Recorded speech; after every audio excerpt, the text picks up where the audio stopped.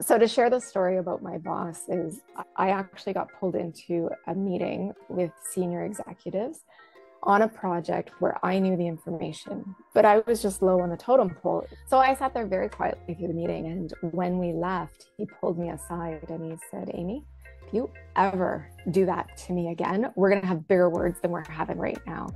He was upset because I stayed silent in that meeting. That was.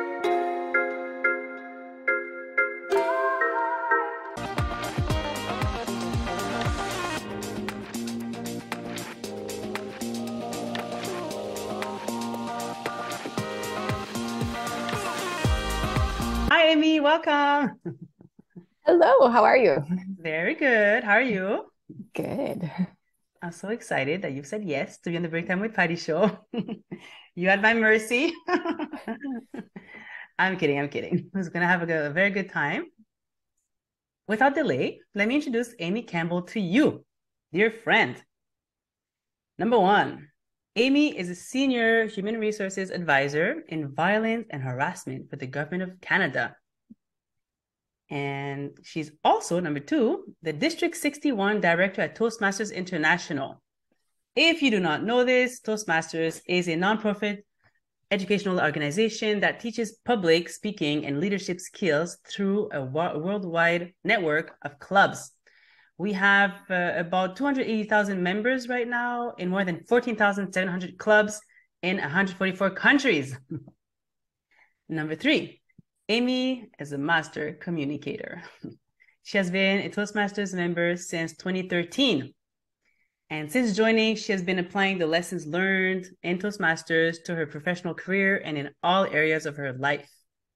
Number four, finally, she is a woman on a mission to give back to the world through all her adventures and all her fundraisers to raise money for charities that are dear to her heart. I've talked enough. Let's get started. Amy, can you tell us about young Amy and what it was like to be in her shoes growing up, please? Where did it all begin? Oh, well, if I'm being sarcastic, it all began on a cold night in October. so, I, I grew up in a small town, and with small town living comes small town gossip and all of that stuff. Uh, and it's interesting because where I am today is definitely not the same individual I was back as a child or as a teenager, and vastly different. So people have a hard time when I say that I was the youth who who just could not bring herself to put herself out there.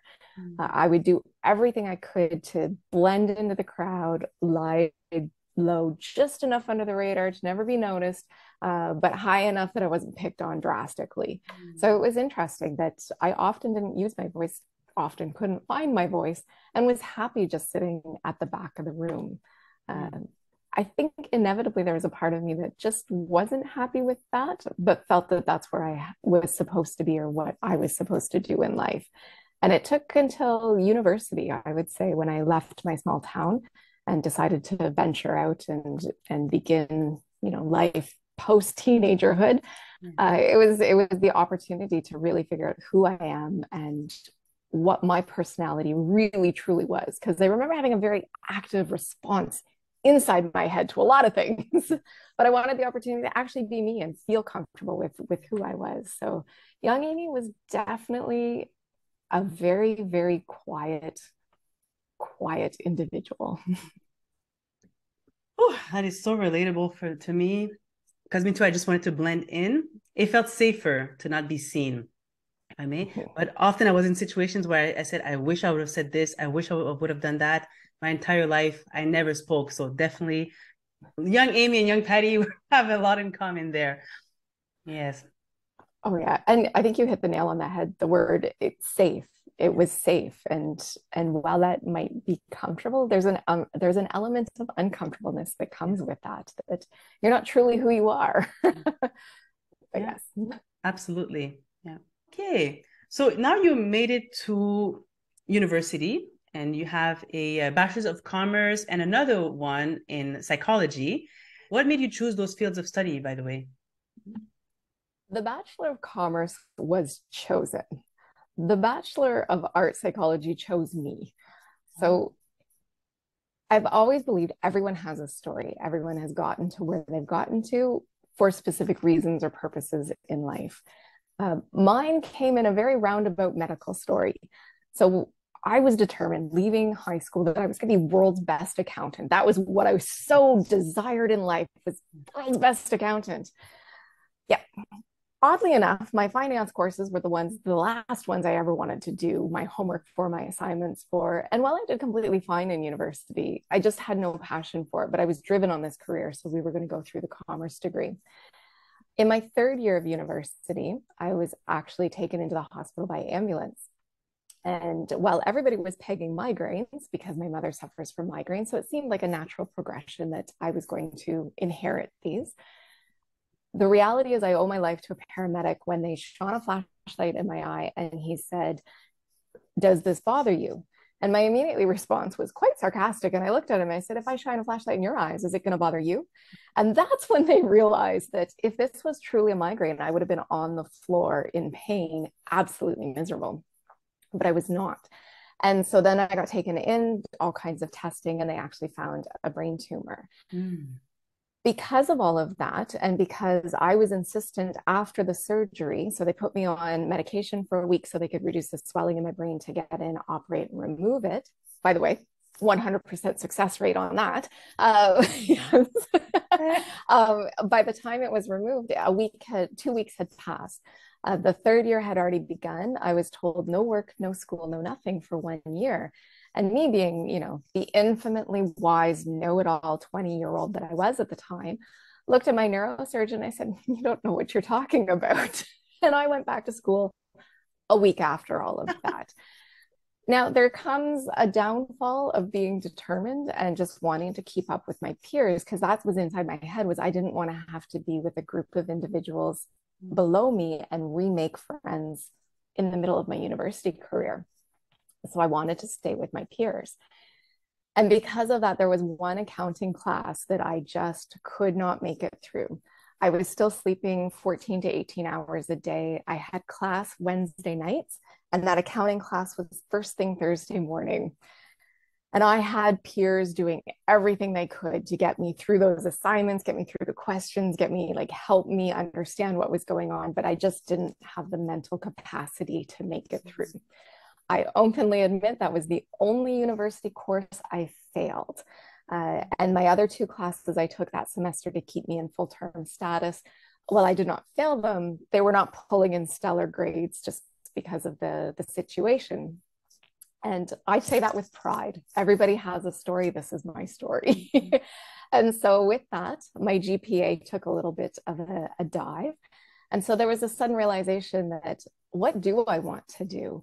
I didn't want a commerce degree with no concentration.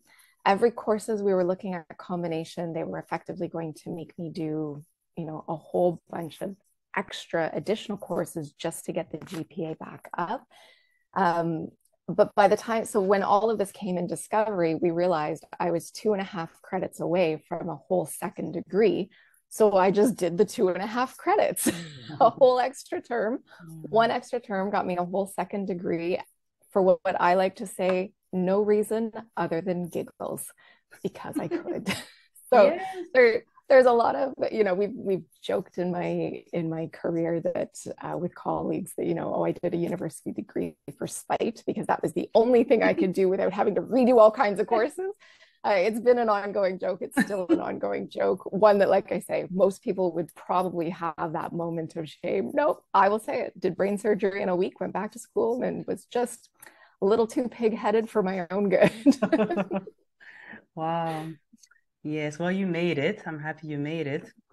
And you have a good story for me. Did you ever write a speech about this? oddly enough i have not it's hmm. it's very interesting about the tumor because it's a part of my life but it's not something and it's part that i'm very comfortable speaking about and speaking to but it's not something i've ever been comfortable doing a speech on and finding that balance of bringing people into that world but having the appropriate amount of levity towards the subject mm. because A speech is one way. So it's one way communication out. And I find sometimes those subjects very difficult to hear the way they're presented because the audience is not responsible for my tumor. They're not meant to be made to feel guilty. And so when you can't have a conversation to make sure the other person is okay when you hear this information, it becomes a very heavy topic. Mm-hmm. There's also an assumption that the brain tumor is the most serious ailment that's ever happened in that room. And often you have somebody who's either going through cancer treatments at the moment, uh, has lost a child and has buried a child, and that causes unbelievable grief. So it goes back to my my feelings of everyone has a story and everyone's story is different and everyone's response is different. Mm-hmm. And for me personally, those kinds of stories are conversations. Mm-hmm. And until I can figure out the proper way to share it in a one-way dial a one-way monolog mm-hmm. uh, i'm happy keeping it just a conversation yes. so that we can all have a good laugh about it there you go. Yeah well here you go. You shared it now so thank you so much for it's out there. Yes. It's a safe place here amy. It's a safe place. So wonderful. So i'd like to know what was the turning point? Because i'm assuming you're in the workforce at this point. You have your two bachelor's degree so, what was the turning point that made you decide to go visit a Toastmasters club for the first time? Mm. The first time, so there's actually a, I would say, a three time start to this whole event as to how Amy got into Toastmasters. So the first time was a former colleague. Um, I used to work at a charity and then I went into a consulting firm. So a colleague from the charity had sent me a, an agenda for a Toastmasters club. And to this day, I still remember the club's name and the agenda and what it looked like. I remember the blue, I remember the logo. And she said, Amy, I'm going to go. Would you want to join me? I said, Yes, that would be awesome. I think that would be great. Having no idea, I just generally say yes to a lot of things that sound really fun. Mm-hmm. so so we had arranged, but then she'd canceled, and I never went on my own because um, it was a lunch hour club, and I always felt through lunch it was very hard to leave as a consultant. You're the one there doing all of the the, the deadlines and and whatnot. So so it never happened. Then I found I went back. It randomly came into my brain months down the road, and I went to the internet as we do nowadays and put it in, and I found one that was reasonably close. And I live my life by what is on the bus schedule near me. what is the timing? And how can I get there in the middle of winter in the least amount of bus time? Mm-hmm. So I found a club that was by by my home. The unfortunate part is I had confused the church it was being held in. I had a visual in my brain, and what was in my brain was not the actual church that it was at. And I couldn't find the side street that the church was was in because I wasn't quite familiar with the back streets of that area. By the time I got there, I had walked up the steps and, and I was just about to sort of peek into the door where the club was meeting. And I heard this voice of, Remember, you want to be on time. We don't appreciate it when you're late. And I sat down and I went, Do I go in? Don't I go in? Do I go in? Don't I go in? They're not going to like it if I go in. I don't know what to do. And I sat on the stairs outside of that room because they were just at the top. And I, for probably, I, I, I would not be shocked if it was 10 minutes. And I don't think I'm being dramatic because it was a debate on do I go in or do I not go in? And I chickened out and I left. So I went back home and didn't think much of it for a period of two years once again a colleague a different colleague this time. I was whining about a course i was in about adult or adult education and evaluations and i just was whining about an assignment to a colleague and she said amy i'm doing an education tonight on evaluation so why don't you come with me and we'll go out to that club so i went to the club visited with her. Lovely venue. I remember the cookies at break. I remember a few of the people. I remember the the, the lectern there. I remember the banner. There's a lot of memories from that night. And I remember the grammarian telling me that I had 63 legs or arms. And I'm thinking in my head, I know that I am not perfect. I'm well aware I'm not perfect. But I also know that I have never entered like into my vocabulary to that extent. He had mixed up the two mm. guests, but it was enough to shame me to not really want to go back. And so I said to my colleague who brought me that, you know, I, I said, I, I don't really get it. I just don't completely understand it. And she looks at me and goes, Amy, I got a club for you.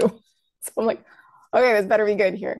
So she took me to another club, so this being the third club, and I could not tell you exactly why or what it was about this club because if you go to my requirements on the busing line, it was not on the busing line. It was cold in the middle of winter coming home from that club, but it was worth it. Mm. But I remember that first that first night walking in with her and seeing the club, the members that I knew, not spoken to anyone, and it was just like, my people, I'm with my people.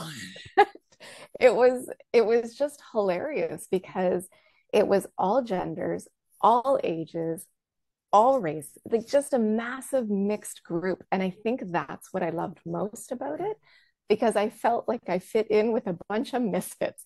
And in that first sort of intro the the toastmaster i got to see a few of them banter and it was just my style of humor mm-hmm. you know a little bit of dryness a little bit of sarcasm a little bit of poke and fun and it just like the third if i thought i felt at home the first 30 seconds halfway through the meeting i'm like you guys are stuck with me because i want to come back mm. want to come back and so i did they they were very very very kind because i didn't get it now that i'm in district leadership i get it but mm-hmm. they allowed me to hang out for six months because then my courses were done so i felt i could afford the membership mm-hmm. and join them so that's that's the story of how i got into toastmasters and you know the three different attempts that it took. Uh, but I, I don't I don't regret any of it at all. I think I needed to go through that fearful moment um, and then keep coming back to realize when you hear something like that, it was not against me, it was not. And it was a genuine sentiment from that Toastmaster about being on time. Uh, and it's it's getting over that fact that everybody has a different way of delivering a message. And so well, I've never directly gone back to that moment, I think Toastmasters has ultimately given me the courage to look back at that moment and say, mm. yeah, it was okay, Amy. You don't have to, you don't have to have the anxiety anymore. yes. Well, that's fascinating. My goodness. Yes. And that's the beauty of Toastmasters. Like the same thing with me. Me was the love at first attendance, as I call it, with my club. But I did visit many clubs uh, and they were all great. They all bring value, right? But at the end of the day, oh. that was a good fit. Like just like you, the moment I showed up there, I was like, oh yeah, this is it. And I kept shopping around to another uh, other clubs, but I knew already they just validated you guys are great, but this club is the best for me. We all have different needs, different timing. You know, me it's perfect Friday at noon. Maybe it doesn't work for everybody else, but we all have a place. That's why we invite people to visit many different clubs worldwide, even if they they want to. But even better if it's in your neighborhood but we have so many options. It's like a whole community worldwide. Mm-hmm. I have told individuals where I said, you may enjoy Toastmasters. This is what you're going to expect. However, remember that the first, or just know, not remember, but know that Amy has told you the first club may not feel right. Go to another one because you'd be amazed at, well, it's the same process and procedure. There's just a different fit and it's amazing.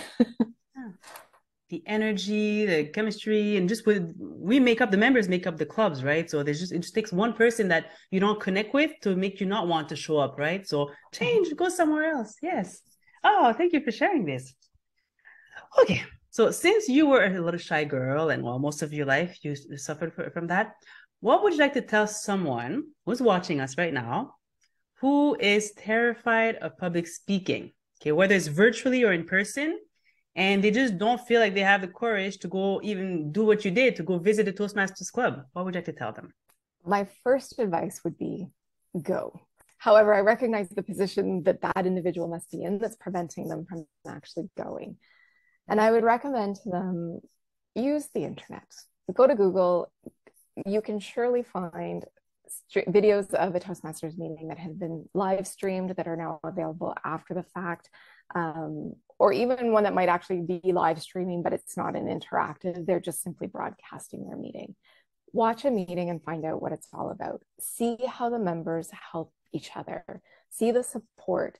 See the style of evaluations you get, you receive that a, the speaker, sorry, I say you because it's me in this moment, but that a Toastmaster receives as you're watching that we learn how to give positive, constructive feedback. We are here to lift our fellow members up in every way possible. We're here to encourage them. We're here to help. Now, if you do have the courage to go to a Toastmasters meeting and participate, maybe watching those videos first will also give you the questions to give you that comfort level of knowing what you're going into first and being prepared with some questions to ask. Uh, never be afraid to ask a question, whether it be publicly or whether it be to an individual who's beside you quietly. They're always, all, every Toastmasters club, every Toastmaster that I've ever known is always open to answering questions. So if you have their courage to go ask questions, don't be afraid to speak up. This is your first opportunity.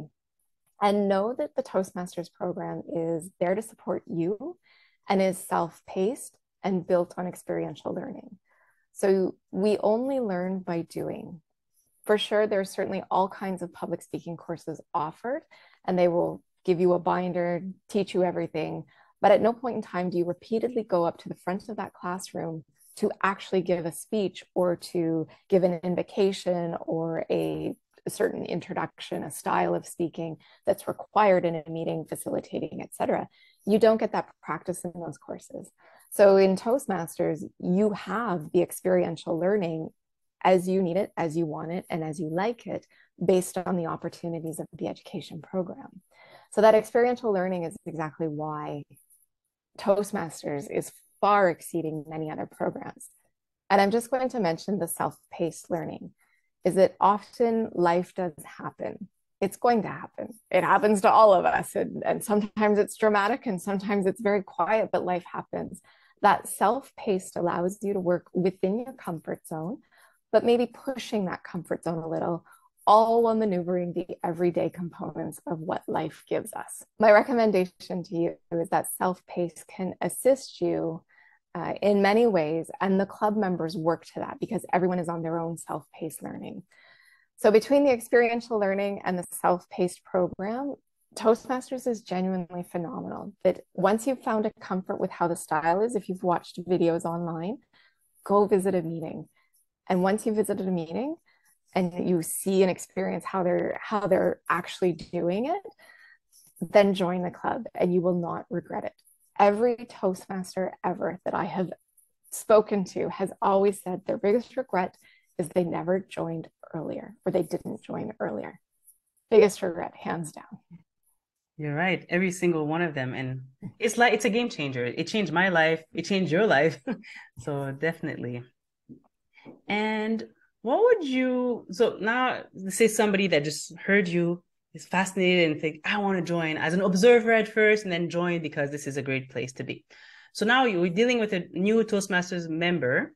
What do you wish someone would have told you early on uh, to get the most out of this public speaking journey? That's an interesting one. And it's it's a because I think I woke up halfway through my journey. And I say halfway, it was a number of years into me being a Toastmaster. I mentioned the club where I'm like, my people. And I was having a bucket load of fun. Like there is no doubt I was having a lot of fun at the club. And I was doing speeches. At the time, it was the competent communicator manual that I was working through.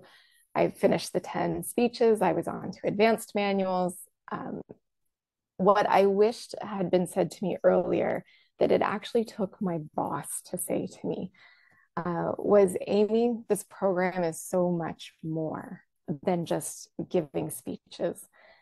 If I had realized the advantages I could have had out of Toastmasters beyond the public speaking realm, I would have, I would have, whatever the proper grammar is, I would have dove in right in faster. Uh, so to share the story about my boss is I actually got pulled into a meeting with senior executives on a project where I knew the information, but I was just low on the totem pole in this meeting. So he brings me in and I sat there like the good little project manager I was, you know, the quiet, you don't disrespect, you don't speak up out of turn, and you certainly don't in a hierarchy organization say something that's not been deemed your time to talk about. So I sat there very quietly through the meeting. And when we left, he pulled me aside and he said, Amy, if you ever do that to me again, we're going to have bigger words than we're having right now. And I was, I was so horrified because this was an individual that I looked up to in so many ways. And the, the idea that I had upset him to that extent without even realizing what I had done um, was horrifying for me because he he'd given me so many opportunities. He was such an incredible mentor. And to think I'd betrayed him, that was the red flag for me and the realization that the Toastmasters program could really benefit me. All of those things everybody said about being a better communicator. This was the moment that I realized it had to go beyond the club. And so it's one thing to give a prepared speech and to be you know well versed and confident in what you're going to say and you've memorized it and you've got all your body gestures down and you're ready for that moment. But it's another thing to speak with confidence on a subject of questions of their choosing and to be willing to speak up on a, a subject a project a, a business meeting that maybe they're not going to like what you're going to say but being able to be confident in its delivery and your knowledge that you know what you know and making it a discussion then. So having that realization, that's where Toastmasters really fit in. And that was the moment where I started to flip the switch on Toastmasters and make that change and, and got more involved in, you know, thinking about table topics, um, thinking about the Toastmasters role and how that could really help me. I will admit, just recently with our whole hybrid situation, I was one that put up my hand wanting to go back to work full time. Uh, love my living room, did not need to be next to the fridge all the time anymore. so I put up my hand and I asked to go back to the office. Sure enough, I'm back there. And we've now had some on site meetings with the, the entire team, but some of our team is cross country. I am the one who knows how to do hybrid, who knows how to control the mics, who knows how to make sure that we don't blow our, our ears out with feedback. And it's all these skills that we've learned in Toastmasters that have completely expanded beyond. And it's great because I actually get to say to everyone, I only know this because I'm in Toastmasters. And that's the truth. oh, yes. It's so true. Uh, I have this, I work for the government as well, and I can assure you my presentations are very entertaining because there's a way to deliver in a way that you can keep people engaged, etc. So I, I will never again look at presentation the presenting the same way as I did before Toastmasters. How to chair a meeting, the whole thing. You can throw in humor everywhere. Um, People yes. think they have to be stoic. Oh my gosh, no. you can throw humor in when you know the crowd or understand the crowd. You can make it enjoyable. you remember those overcrowded decks, those presentations, PowerPoints with like like so much text. Nobody can read. Nobody would listen. Now you know i there's a way to just share the essential have great images all those things learn from toastmasters you know. I never overcrowd. Nobody will read nobody will listen and you, you're going to lose the people. So so many i'm telling you don't get me started with what what I, I can learn from that. We'd be here for days between the two of us. We would both like this yes this, this, this. oh yes. Absolutely. I would like to say something. You said about your that boss that mentor i understand how you felt awful that you didn't speak up okay i understand that i've been in that situation many times but i still feel because i was a manager for many years decades actually, and I would have put you on the spot. Like Amy, um, since you are the subject matter expert, would you like would you mind ch- chiming in, please? Like he could have said he could have made you speak. So I still feel like there's some responsibility uh, on his part, no, as well, no. Let me be clear. No, he he did, and me being the well versed individual on trying to stay silent and fly low under the radar, did what I normally do: divert everything. Okay. Okay. Oh yeah. No, he he was a okay. he was an amazing individual that um you know, while he's not in Toastmasters, he was the biggest supporter of my Toastmasters career and and everything I was doing there. The mentoring has been incredible and the mentors that I've had outside of Toastmasters have been incredible about my Toastmasters career and supportive and understanding and just blown away by the growth that I've had between when they knew me six years ago to when they know who I am now. I shouldn't say when they know me now, but who I am now is it's night and day. Yeah. Sometimes good, sometimes bad. We've had some tough conversations, yeah. but it but it changed. It's it's just so incredibly powerful what it does to a person in confidence and in improvement and skill development. Yes. Oh my goodness.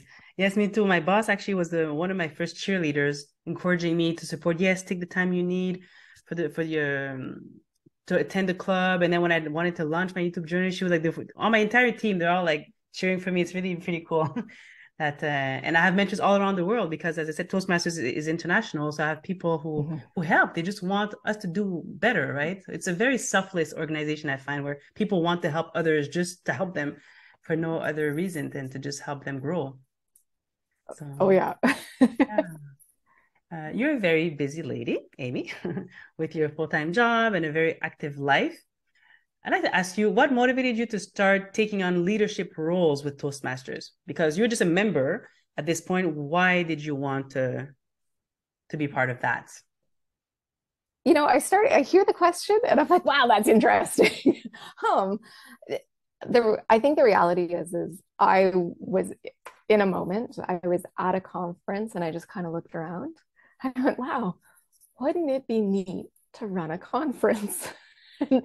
not realizing the company I was in, having no idea what their positions were in the organization. About six months later, I was being asked to put in a proposal to be conference chair and to run a district conference. Um, so the the interest in that is realizing how much experience you can get beyond the club level and the club is important. It is phenomenally important. They're always going to be your support system, your rock, your your main go-to set of people. But the experiences at the district are that that much grander and the friendships multiply especially when you don't get to see them that often. So it gets very exciting at district events when you're like, oh my gosh, I haven't seen you in, in three months, you know, so good. Or sometimes it's a year before you are able to connect with people on the other side of the district. And I understand online has changed that. Yes, but there's still nothing better than seeing somebody right next to you that you can hug. So that was the interest became came when I was in conference chair because I was meeting more people. I was having different experiences. I was really growing. Uh, and I, I don't like the generic word growing, but I was building that self confidence that I was no longer afraid to speak at work. Two very different subjects, you know, running a conference versus project management work at in the government at the time, but it it the skills were going across, and that's where I was noticing it and then i won't lie because of those friendships and those the people i was meeting and and the enjoyment of being at district events i didn't want to leave the environment that i had been brought into. And what what happened was after the year i was conference chair i was then the program quality director's education and training coordinator. So i took on a few small roles in there helping with that portfolio and after that, I ran for division director and I had a blast. I had six area directors, very unique personalities, but so enjoyable. Each one of them brought their own quirkiness to the table. And I do say quirky because we're all quirky. Like I I remember the night before my first division council going, why are they ever going to think that I have anything to contribute? Because I am like little old Amy. you know, yay. But it was it was just turned out to be such a great year. I found my own rhythm with them. They found their rhythm with me. Clubs were on fire. We were just having a blast everywhere. And it it felt like that big giant family everybody had told me about in Toastmasters, but I was finally experiencing it. And so from division director, I put in my paperwork, and I, to this day, I've always joked I only ever wanted to be the the public relations manager. But I ended up putting in paperwork for club growth director, and lo and behold, was elected in as club growth director. And then I was on the run, so here I am. This is where I've where I've landed in in Toastmasters, and not a regret. Challenges for sure, lessons learned for sure. Definitely learned that perfection is never going to happen, and that was hard. Mm. it's really hard, but it, it's true. And so I, am reflective because I'm in the district director moment, or I pause for a moment there because I'm thinking of events that have just happened, lessons that were just learned this weekend. Uh, I'm thinking of compliments that were received. I'm thinking of tough conversations we've had. But every one of them have built me up to where I am and where we are. And everybody's journey on the trio is different as well. So what I'm learning is different from my trio mates' learnings. And but that's what keeps you coming back for more is when you're willing to accept and be open to the friendships, the open, the family, but you're willing to be open with yourself and say, hmm, I might not have been ready for that learning, but I have now learned it and now have to accept it mm. and change. Yeah. um, it, it's just a phenomenal way to realize you can be and you can improve and you can continue to to just find yourself and find where you fit in the world and soar really there's no limit to what we can accomplish so absolutely 100% with you And I've never been a part of another district than the, the, the District 61, but I think it's the best district ever. Just saying. And although I suspect they all, everybody says that, but I love the energy in there. And uh, I'm not part of the leadership, but I see everything that you guys do, and you've been you've been injecting a lot of life into the district. And I know after all the last few years, I've been a bit of a struggle with the whole pandemic and everything. So it's just lots of action going on that's getting me very excited, anyhow. So thank you for that.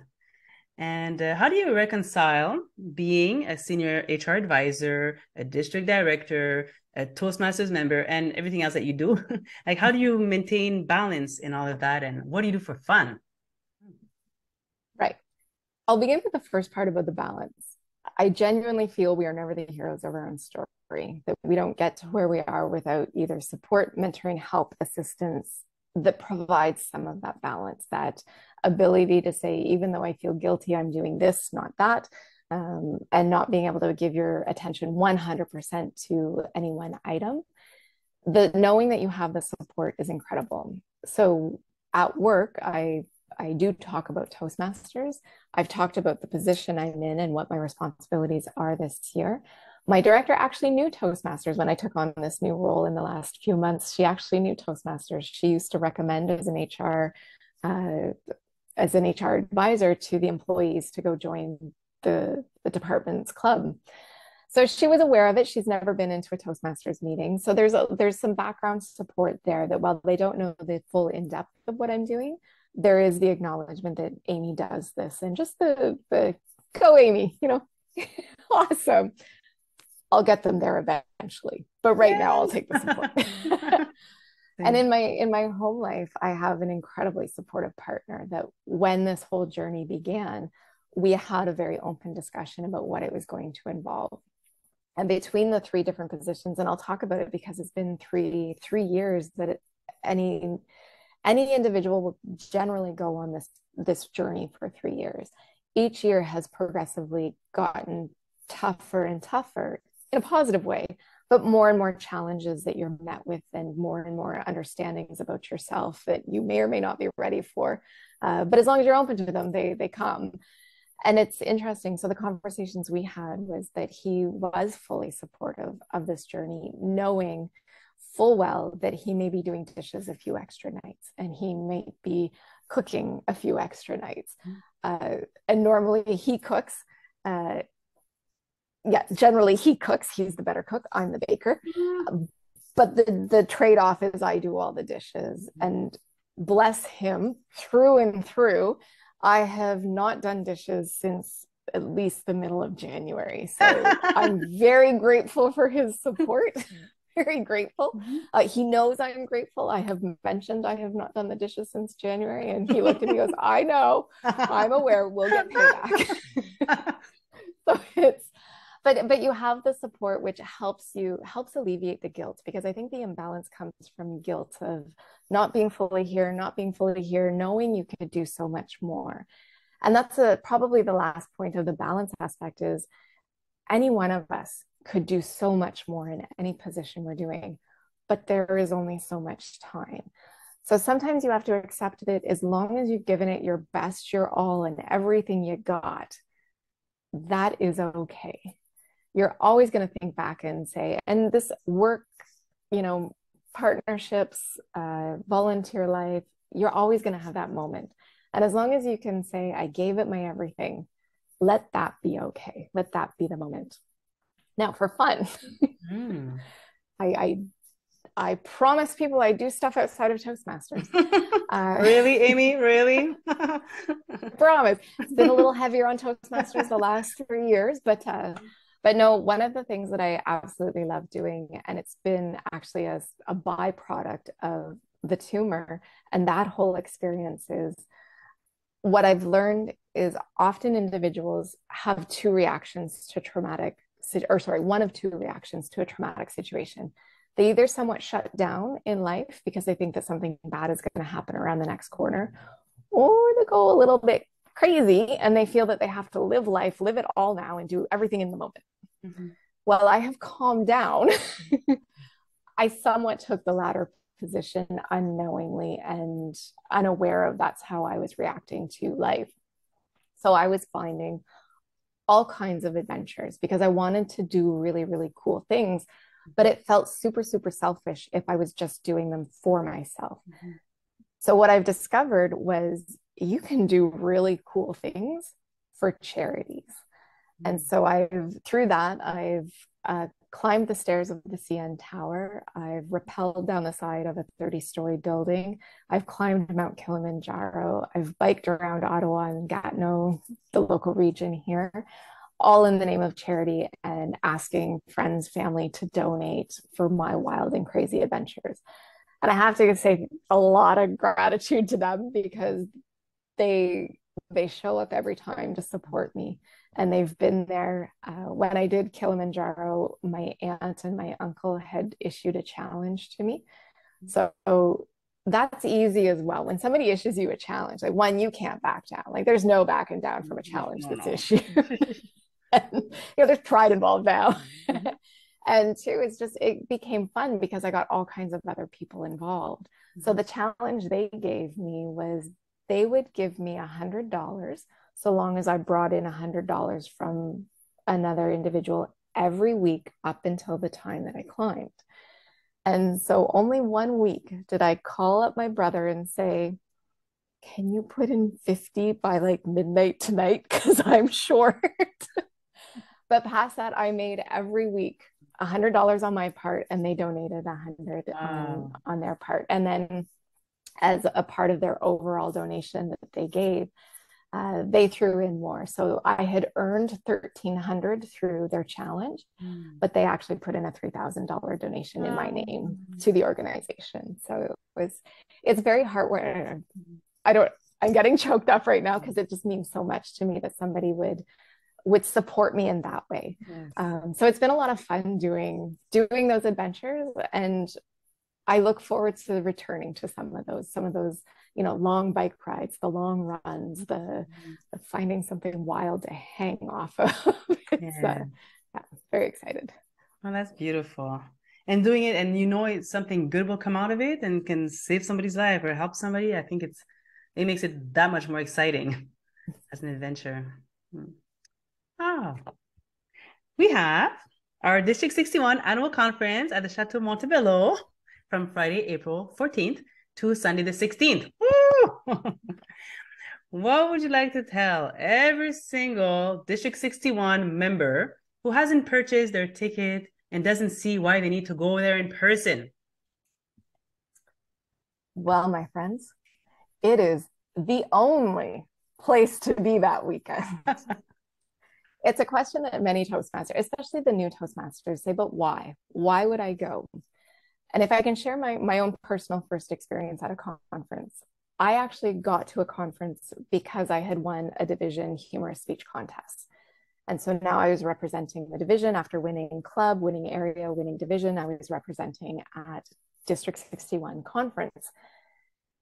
Through that speech, which was actually about rappelling off of the side of that building in a Wonder Woman costume, true story, I met so many people because I had unknowingly made a lot of people laugh. I mean, it was a humor speech contest, but I, I know that my humor is sometimes a little bit different than others. But it was interesting the number of people that I met because that event happened. And literally, I woke up going, oh, this is a conference. Oh my gosh, the people you meet, the it's mm-hmm. just incredible. And it's really hard to get to the specifics of that to explain why a really funny conversation that happened over dinner and a whole bunch of sarcastic responses exchanged became the reason to go to conferences the next year and the year after and the year after that and the year after that. But it genuinely is about about the support you get there, about meeting new people, about the genuine friendships you you receive and you are you just enjoy. And like I said, when you get to see them in person, there's a connection that that is stronger than a connection made online. Um, and it, it just happens so fast and it's usually over a meal and then the next meal you're sitting together and the meal after that and you'll find that during the council meeting you're sitting together because mm. you're trying to understand what's going on. Yeah. but it, it's just a lot of fun. It's so much fun. And when you make those friendships they don't just last for 10 minutes. They will carry you through year after year. So if you want to know why to go to a conference i will never be able to relay my experience in a way that will make you want to go. But know that there's somebody out there that needs to meet you and there's somebody that you need to meet out there because it's going to be a lasting friendship and a lasting connection that will at some point in time be incredibly important in your life. Mm-hmm. and that's what i can say conferences did for me. Yes. now if you want me to talk about like the non-gushy stuff there's all the really cool workshops that happen. We bring in keynote speakers. So we have i love talking about we have bob hooey who's coming. He's an accredited speaker and not many people are aware of the accredited speaker program through Toastmasters, but it is not an easy designation to achieve. So he is a professional speaker. Uh, goes, his career is doing this around the world. Very engaging, phenomenally engaging fellow.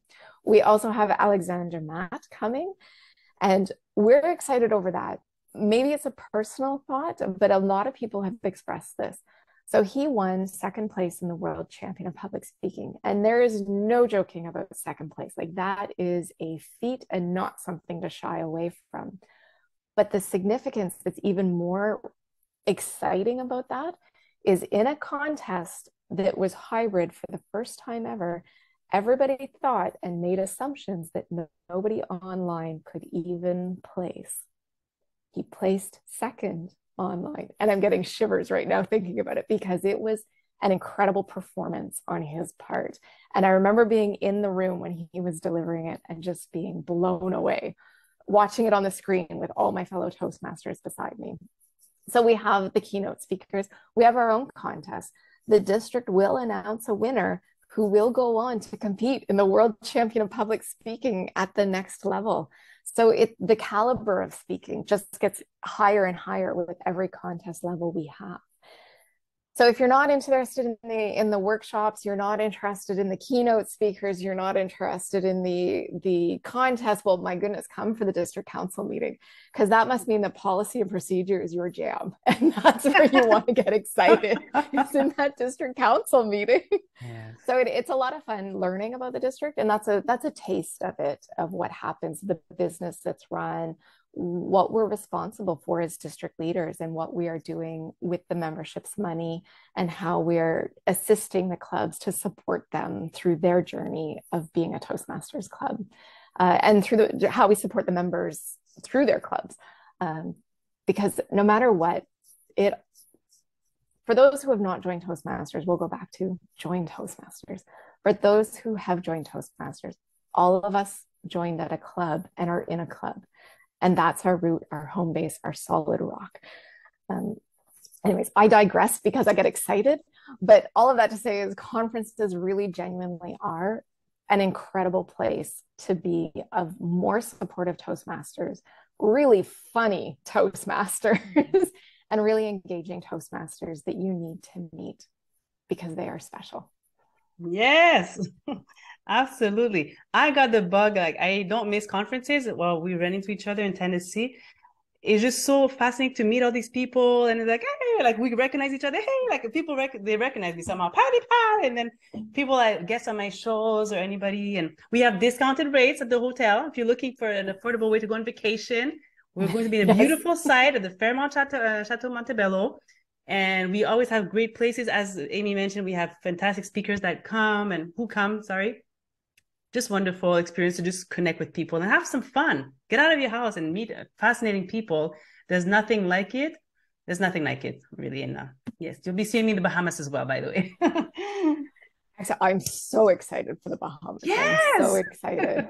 I've I've already spoken to to the uh, potential candidates for incoming, and I said, like, I'm committed. I'm there to support you guys, and I'm there to support Toastmasters and meet really cool people. I'm even tagging, bringing my daughter along actually. So she, she she was with me in Tennessee. We had the time of our life. So definitely, and she That's got to meet. She was actually a participant. She got to see the World Championship. So bring your kids as well. Make it a whole family thing. oh yes, I support that notion. Yes, yes. bring everyone. the more the merrier. This is so much fun, and yeah, it's an eye opener, really. Such impactful messages. It's a great. It's again, eh, I told you, don't get me started. so, anyway, this is your interview. What is the next step for Amy Campbell, please? I would love to say what the next step for Amy Campbell is, but I don't always know that until it's happened, or I don't know until I'm three steps into that going, oh, that was the next step. Okay. Mm-hmm. As I said, I only ever wanted to be the the public relations manager of the district. um, I, I have joked openly with the potential incoming district director that July 1st to 7th, I am there for him. I am sleeping to the rest of the district. mm-hmm.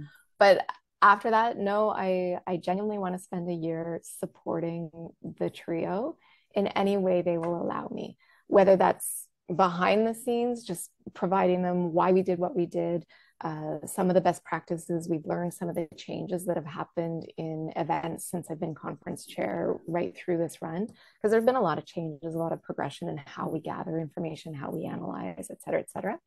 Um, I just want to share my knowledge. I just want them to take everything that I know and use it so that they can make it better and keep building off of that. And that is that I can say that that would be my immediate dream goal and desire for for Toastmasters in the next year. Mm-hmm. Um, there's all kinds of, you know, the world is your oyster as mm-hmm. Toastmasters has changed me.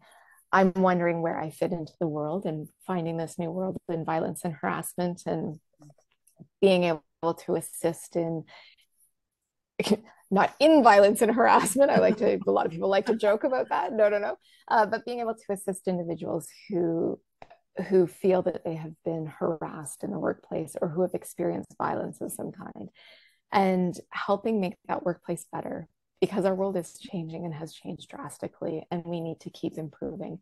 So where that career will take me i, I i'm excited to find out. I'm excited to show up every day. Um, it's in yeah i go back to i often well i have big, hairy, audacious goals, I don't always state them because I don't always know what they are. I just see them step by step by step and then realize it's happened. I've had many offers, many doors open to opportunities throughout my life that have just didn't know they were coming, didn't know I needed them, but walked through them. And everything has just infinitely gotten better in my world. So I'm just going to keep opening those doors as they come. yes. Ooh, wonderful. And if someone in the audience would like to know more about you or connect with you, what is the best way, Amy? Ah, the absolute best way to connect with me is to send me a email. So campbell.amy.l at gmail.com or find me on Facebook, oddly enough. Not the biggest fan of Messenger, but I will send you another method to get a hold of me through Messenger. so I'm, I'm quite discoverable on Facebook and enjoy Facebook quite a bit, as well as LinkedIn. Again, just search Amy Campbell. Great. Let me share my main takeaways here. if you're not a Toastmasters member yet, visit many clubs until you find the best fit. Just show up and participate. And if you're even afraid of doing that, try to research a live stream of a meeting so that you know what you'll be getting into when you go visit one. Fight the fear with improvisation. I like that a lot. Just do it. No one will combust. That was really. We're never the hero, the hero of our own story. Uh, whatever it is that you need help with, find a support group or network or mentor you don't need to do this alone. There's plenty of help out there. And be okay with doing your best. You don't need to be perfect, just do your best, and that will be enough. And if you have not booked your spot yet at the district conference, the District 61 conference, find yourself somebody, a roommate, somebody to share a room. They're so cheap. The, the, the hotel, it's a beautiful hotel and it's so cheap. Find somebody to, to split it with. It's going to be worth it. It will change your life forever. So, that being said, any parting words or story you'd like to share with us, Amy? Yes. I want to say thank you for the opportunity. When you sent me the email, honestly, the, my insides went, Am I an interesting person? What on earth am I going to say? Because you do such great work in, in all of these interviews. So thank you for the opportunity to share my story with the world uh, on Patty Pat's journey if I can leave one thing that has always stuck with me that in my own journey has been helpful, and I actually found the exact words. So I always knew knew this is how I wanted to be, but the exact words came in a quote that I used in a speech. Quote unknown. I don't know who said it, but there's a superhero inside every one of us. Just some days we need to find the, the courage to put on the cape and be the superhero. Mm-hmm. So if I had to say anything to anyone, just have the courage to be a superhero because they're all around us and they're all the people that we need and and people need us. So it's it works both ways but just have the courage to do it. Hmm. yes. Oh i'm the one who thanks you amy for trusting me. I know it puts people in a particular situation but i, I knew that you had a great story to share. And oh you have served us with so you're just a wonderful lady very high energy and i love your passion for life. And Thank you so much for this. And dear friend, thank you for watching this entire time. And I hope you're feeling as energized as I am after hearing Amy share her message. And I will leave you with this the power of your voice can change the world. Find it and use it. See you in the next video. Bye.